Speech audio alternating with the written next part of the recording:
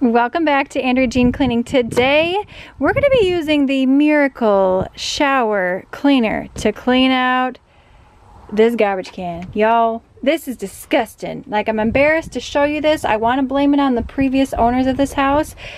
But then that goes to show that we have not cleaned it in two years before purchasing house. So it smells like death in here. You can see we put baking soda in there and it has helped temporarily, but oh man, it's bad. So let's get down to business, show you what we're working with here, and then I'm gonna speed everything up as we clean this out. I mean, it's, it's bad. Look at this. Look at So disgusting. so I also have a video. I use the Miracle Shower Cleaner in my shower. Um, so I will have that link below as well. So here I have it mixed up. I'm going to use this around the edge to spray the garbage can.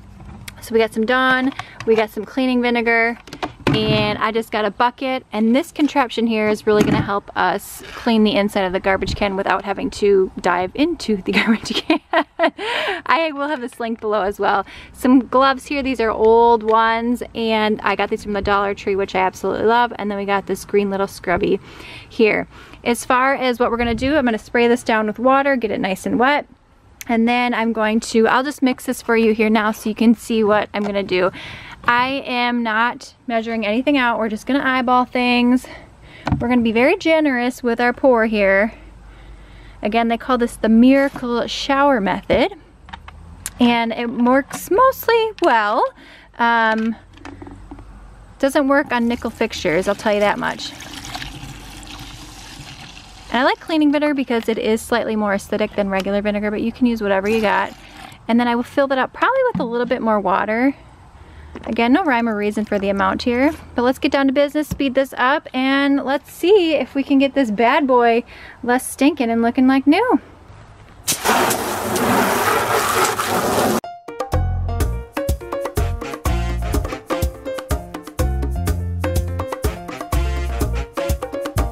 So I went ahead and dumped out the excess water and then I just filled this up with some water and we're gonna go ahead, dump that in here and start scrubbing away. I'm gonna take my spray bottle and then squirt along the sides here as well.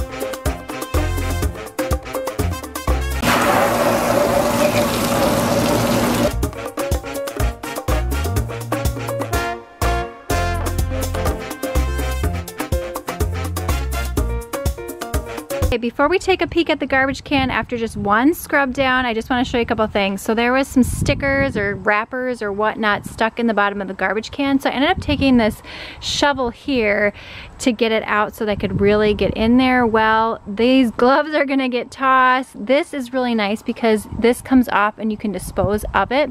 Um, and then I will disinfect and sanitize the rest of this. Um, but yeah, let's go take a peek here.